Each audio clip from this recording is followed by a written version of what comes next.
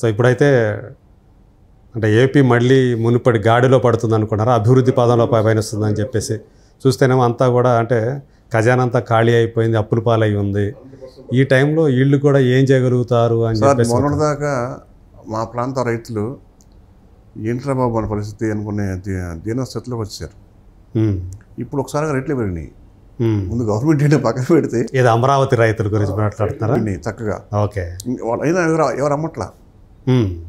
ఇంకా మాకు మంచి జరుగుతుంది. ఇప్పుడు స్టార్టింగే కదా వన్ మంతే కదా అయింది. అవును అవును. అని ఉన్నారు ఇప్పుడు రకరకాల కంపెనీలు రాబోతున్నాయి. అక్కడికి రకరకాల గవర్నమెంట్ ఆఫీసులు రాబోతున్నాయి.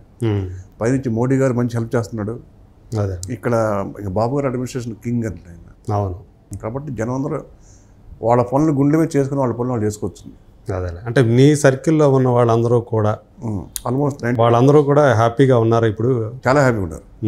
ఇంకా ఉండబోతున్నారు. ఇప్పుడు ఆల్రెడీ ఉన్నారు ఇంకా ఉండబోతున్నారు. జస్ట్ స్టార్టింగ్ కదా. అదేలే. కాకపోతే లా అండ్ ఆర్డర్ పరిస్థితి ఇదివరకే బాగుంది. ఇప్పుడు మరి దారుణంగా తయారైంది. నెల రోజుల్లోనే చాలామందిని దాడులు జరుగుతూ ఉన్నాయి వైసీపీ వాళ్ళ మీద అని చెప్పేసి నానా ఇది జరుగుతూ ఉంది. ఇప్పుడు రచ్చ జరుగుతూ ఉంది. సో వీళ్ళు వాళ్ళని అంటే రీసెంట్గా చూసుకుంటే రషీద్ అనే అతన్ని జిలాని అనే అతను వినుకొండలో మీ ఊరికి దగ్గరలోనే. అది ఎవరు చేసిన? హత్య హత్య చేయటాలు ఇవన్నీ ఇట్లాంటి ఇట్లాంటి జరుగుతున్నాయి. దీన్ని చూపించి దీన్ని అంటే ప్రతిదీ కూడా రాజకీయ రంగు పులిమేస్తూ ఉన్నారు. అది ఎవరు చేసిన తప్పే. అది ఆ పార్టీ చేసిన తప్పే ఈ పార్టీ చేసిన తప్పే. అసలు అది నేను అనేది నిజానికి ఇది పార్టీతో సంబంధం ఉందా అంటున్నా నేను. ఎవరు చేసినా తప్పే. ఇప్పుడు ఒక ఫ్యాక్షనిస్ట్ ఉంటాడు. ఒక ఫ్యాక్షనిస్ట్ ఒక పార్టీలో ఉన్నాడు అనుకోండి వాడికి ఆపోజిట్ వాడు కావాలని ఇష్టం ఉన్నా లేకపోతే ఇటు పక్క ఉంటాడు. వేరే పార్టీలో ఉంటాడు. వీడు ఆ పార్టీ కోసం వాడు ఈ పార్టీకి వస్తాడు. అది వాళ్ళిద్దరి మధ్య ఉన్న శత్రుత్వం తప్ప పార్టీల మధ్య కాదు. దానికి పార్టీలు రంగు పులుతున్నారు. అదే. ఇప్పుడు జరుగుతుంది కూడా ఎలాగ అనుకుంటున్నాను నేను. ఏదో లోకల్గా లోకల్గా ఉన్న కక్షల్ని ఈ ఈ పార్టీ ముసుగులు చేస్తే ఆ పార్టీ వెళ్ళిపోద్ది కదా. అవును ఎందుకంటే చంద్రబాబు నాయుడు గారి గురించి అందరూ తెలుసు. ఆయన వైలెన్స్ని ఎంకరేజ్ చేయరు. చేయరు. ఓకే. కొన్ని కొన్ని ఇన్సిడెంట్ నాకు తెలుసు. నేను వేరే పదాలు చేసే టైంలో కూడా. ఆయన ఎప్పుడు కూడా వైలెన్స్ని ఎంకరేజ్ చేయరు. At same time Pawan Kalyan గారు అలాంటి చేస్తే కూడా అడ్డుకునే మనిషి. ఉమ్, తను. నెక్స్ట్ వంగలపూడి అనేది స్ట్రైట్ ఫార్వర్డ్ హోమ్ మినిస్టర్ గారు. ఇంతమంది ఉన్నప్పుడు ఆలోచించేవాడు ఉన్నప్పుడు జనం తెలిసిపోతుంది ఏదన్నా. వీళ్ళు కావాలని చేస్తే జనాన్ని తెలిసిపోతే మనకి ఎఫెక్ట్ అవుతుంది. బాబు గారికి తెలుసు. అవును. వీళ్ళందరికీ తెలుసు. కాబట్టి ఇవి పార్టీ ముసుగులో లోకల్ లోకల్ ఫ్యాక్షన్ కొట్టుకుంటున్నాయి అని నేను అంటాను. పైగా ఏంటంటే ఈ మధ్య కాలంలో బాగా ఈ గంజాయి అనేది విపరీతంగా అది ఎవరు మహానుభావుడు అనేది అలవాటు అలవాటు చేసింది గాంజీ అనేది. చాలా తప్పు సార్. యువత నిర్ణీతం అయిపోతుంది ఇప్పుడు మైనర్ బాలికల్ని మైనర్ బాలికలు రేపు చేస్తారంటే మరి ఏంటి సంగతులు? దాని వెనుకుంది ఇవే ఇవే ఇలాంటివే కదా. అవును. అంటే ఎడిక్ట్ అయిపోయారు. ఈ మధ్య కాలంలో దానికి అంతా కూడా ఎడిక్ట్ అయిపోయి విచక్షణ అనేది మర్చిపోయి హోమ్ మినిస్టర్ గారు చెప్పారు ఇప్పుడు రీహాబిలిటేషన్ రీహాబిలిటేషన్ సెంటర్స్ సెంటర్స్ పెట్టి. ఎడ్యుకేట్ చేస్తాము. పేరెంట్స్ని కూడా పిలిచి ఎడ్యుకేట్ చేస్తాము. దీనికి బానిస ఎవరు అవ్వకూడదు గంజాయి రహిత సమాజ సమాజం. సమాజాన్ని ఉమ్, మేము నిలబెడతాం అంటున్నారు. చాలా పవన్ కళ్యాణ్ కూడా అది చెప్పారు. అదే. బాబు గారు దాని కమిటీ ఉన్నారు ఆల్రెడీ? ఇంతమంది పెద్దోళ్ళు ఉన్నప్పుడు డెఫినెట్గా అంటే ఒక్కసారిగా తగ్గిపోతుంది అనుకోను కానీ గ్రాడ్యువల్గా ఉం, తగ్గుతుంది. సో మళ్ళీ ఈ ఇప్పుడు ఈ ఐదేళ్ళ తర్వాత మళ్ళీ మళ్ళీ మేమే వస్తామని చెప్పేసి వైసీపీ వాళ్ళు చాలా కాన్ఫిడెంట్గా చెప్పేస్తున్నారు అప్పుడే నెల రోజులకే. సో మీ ఉద్దేశం ఏంటి? ఐదేళ్ళ తర్వాత మళ్ళీ టీడీపీ అలయన్సే వస్తుందని నమ్ముతున్నారా? లేకపోతే ఖచ్చితంగా అది జరుగుతుంది ఐదేళ్ళ తర్వాత అండి. ఇప్పుడే ఎందుకు? నాలుగు నాలుగున్నర సంవత్సరాల తర్వాత మాట్లాడదాం. ఓకే. సో అప్పుడు ఎలా ఉందనే పరిస్థితి? అంటే నేననేది ఏంటంటే అప్పటికి ఏపీ డెఫినెట్గా డెవలప్మెంట్ బా- బాటలో దూసుకెళ్ళిపోతూ ఉంటుంది. నాకు తెలిసి కాబట్టి అప్పుడు ఆడియన్ మూడు ఎలా ఉంటుందో మనకు అర్థమైపోతుంది. అంతే కదా ఓటర్ మూడు. Water mood. నీకు చక్కగా నీకు మంచి బట్టలు వేసి మంచి బిర్యానీ పెట్టి మంచి ఇల్లు కట్టించి మంచి జాబ్ ఇచ్చి హ్యాపీగా ఉండరు అంటే నువ్వు? వద్దు వద్దు నాకు ఆడే కావాలని ఎవరు అనరు. ఏం పెట్టినోడు కావాలంటారు పెట్టే ఒకవేళ అలా అలా ఎవరన్నా అంటే వాళ్ళు మనకి మనం ఏం చేయలేము ఇంకా. ఆ రకమైన మనుషులు ఉంటారు అలా రకమైన మనుషులు కూడా ఉంటారు. అది చాలా తక్కువ తక్కువ అదే. నా ఉద్దేశం హానెస్ట్లీ ఏంటంటే ఈ ఇప్పుడు ఇప్పుడు జరుగుతున్న ఈ ప్రజెంట్ ఫైవ్ ఇయర్స్లో డెఫినెట్గా డెవలప్మెంట్ అనేది ఒక పీక్ వెళ్తుంది. అప్పుడు ఆ ఓటర్ మూడు డెఫినెట్గా పాజిటివ్గా ఉంటుంది. అదే. గవర్నమెంట్కి అది నా నమ్మకం. అదే. ఏదైనా సరే మనకి ఒకసారి ఎన్నికలు వచ్చాయంటే అప్పుడు దాకా జరిగినటువంటి పరిస్థితులు వాటి యొక్క అదే కదా ఇంపాక్ట్ కలిగించేవి. నాకు టీడీపీలో ఎక్కువ మంది ఫ్రెండ్స్ ఉన్నారు అని చెప్పి వైసీపీలో కూడా నాకు కొంతమంది ఫ్రెండ్స్ ఉన్నారు. వాళ్ళతో కూడా మేము మాడుతూ ఉంటాం. ఇప్పుడు కొట్టుకునే దాకా ఉండదు. అదేలే. విధానాల మీద మాట్లాడతాం. వాడు చెప్తారు బాబు గారు వచ్చేసారు ఇంకా డబ్బులు డబ్బులు మీది మీదేనండి ముప్పై ఏళ్ళు మీదే మాది కాదని వాళ్ళే అంటారు మరి. మీరు సరదా సరదా డిస్కషన్ జరుగుతూ ఉంటాం. అదేలే అదేలే అదేలే. నేను దాన్ని కూడా ఏకీభవించట్లేదు కానీ.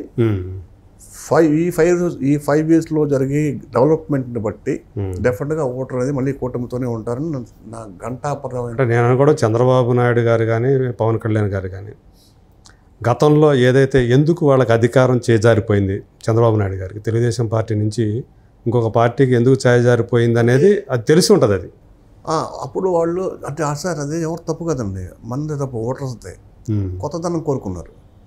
ఈసారి ఎవరు వస్తే అది చేస్తాడు చేస్తాడని చూద్దాం. ఒకసారి అవకాశం ఇద్దాం. అదే అది పంప ఉంచింది ఉమ్.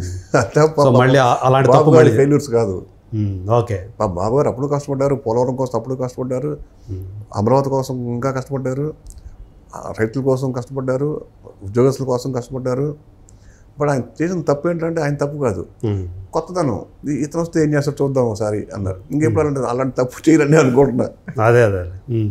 అంటే ఓటర్లు మళ్ళీ ఆ తప్పు చేయరు ఒకసారి చేసిన తప్పు. ఒకసారి చేసిన తప్పు ఏ మనిషి చేయడు. అదేలే. అంటే మళ్ళీ ఈ ఐదేళ్ళలో మళ్ళీ కొత్త ఓటర్లు వస్తారు కొత్త రక్తం వస్తుంది మళ్ళీ కొంత. అదే డెవలప్మెంట్ వస్తుంది. అదే.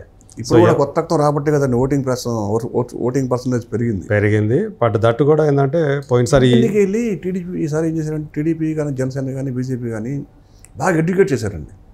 ఇంటింటికి కార్యకర్తలు వెళ్ళి కూర్చొని చెప్పడం అసలు వాడి డెవలప్మెంట్ ఎందుకు ఆగిపోయింది.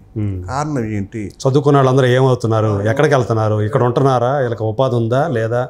అది స్టార్ట్స్ బిగిన్ ఫ్రమ్ ఇక్కడి నుంచి స్టార్ట్ అయింది. మన హైటెక్ సిటీ పెట్టారు చూసారా? ఒక బాబు గారి సపోర్ట్గా ఒక అవును. సమిట్ పెట్టారు. సమిట్ కదా అదే ఒక సమావేశం జరిగింది. అక్కడి నుంచి స్టార్ట్ అయింది. నేను నాకు యూఎస్లో ఉంటారు స్విట్జర్లాండ్ ఉంటారు యూకేలో ఉంటారు ఫ్రెండ్స్ అంత మాట్లాడుతున్నారు వాళ్ళు కూడా వచ్చారు. రావటం కాదు. వచ్చి ప్రతి వాళ్ళ ఊళ్ళ ఊళ్ళకి వెళ్ళి ప్రతి ఇంటికి వెళ్ళి ముసలి వాళ్ళని కూర్చోబెట్టి చదువుకున్న వాళ్ళని కూడా ఎడ్యుకేట్ ఎడ్యుకేట్ చేశారు. అసలు ఇప్పుడు దాకా ఏం జరిగింది? ఇప్పుడు ఏం జరగబోతుంది? ఇది కంటిన్యూ అయితే ఏం జరుగుద్ది? అది ఎడ్యుకేట్ చేయగలిగారండి. ఓకే. దాంతో మంచి రిజల్ట్ వచ్చింది. అది ఎప్పుడు ఇంపార్టెంటే అదే. సో అలా జనం కూడా తెలుసుకొని ఈసారి స్టాంప్ గట్టిగా వేశారు గట్టిగా వేశారు సో సినిమా ఇండస్ట్రీకి సంబంధించి ఏపీలో ఏమన్నా డెవలప్మెంట్ కూడా ఇండస్ట్రీ పరంగా కూడా ఏమన్నా ఉంటుందా? ఎందుకంటే మనం మనకు తెలుసు లాస్ట్ టైం కొన్ని ఇబ్బందులు ఎదుర్కొన్నాం. గత ప్రభుత్వంలో సినిమా వాళ్ళు ఒక టికెట్ రేట్ల విషయం కానీ థియేటర్ల విషయంలో కానివ్వండి సో చాలా ఇబ్బందులు పడ్డారు. మన వాళ్ళు పెద్ద పెద్ద వాళ్ళే వెళ్ళాల్సి వెళ్ళి మాట్లాడాల్సి వచ్చింది. కొంచెం ఆదుకోండి మా ఇండస్ట్రీ అని చెప్పి. తెలుసు కదా? చిరంజీవి గారు కూడా చూశాను. చూశాను చూశాను ఆ తర్వాత చాలా మంది బాధపడింది ఉంది. అవమాన అవమానించారు అని ఒక చిన్న నడిపించారు బయట అని. గేట్ దగ్గర నుంచి నడిపించారని. అన్నీ విన్నాం. సో అవన్నీ పక్కన పెట్టినా కానీ అంటే సినిమా ఇండస్ట్రీకి సహకరించండి అని చెప్పేసి ఇండస్ట్రీ పేరు పొందిన వాళ్ళు వెళ్ళి కా తప్పనిసరి పరి పరిస్థితుల్లో అలా అయినా ఏమన్నా కదులుతుందేమో ఏమన్నా ఫేవర్గా ఏమన్నా బట్ జరుగుతుందేమో? అప్పుడు ఏంటో నాకు తెలియదు కానీ ఈ గవర్నమెంట్లో మాత్రం డెఫినెట్గా ఫిల్మ్ ఎందుకంటే బాబు గారు film industry lover um, Pawan Kalyan గారు సినిమా ఇండస్ట్రీ హీరో. అవును. నెక్స్ట్ ఇప్పుడు మన అక్కడ మినిస్టర్ దుర్గేష్ గారు.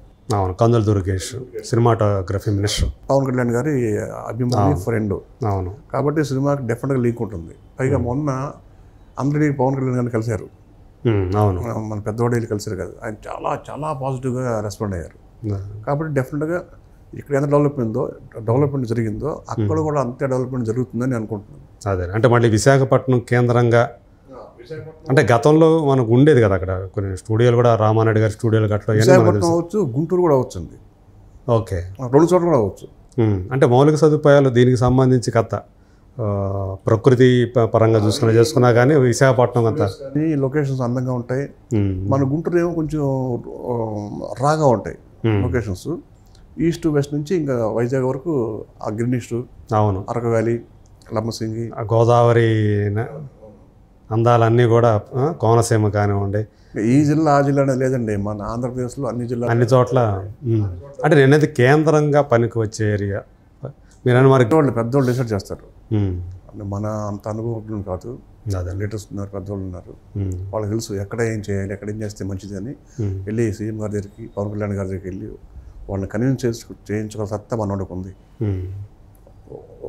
కాబట్టి డెఫినెట్గా ఏపీలో కూడా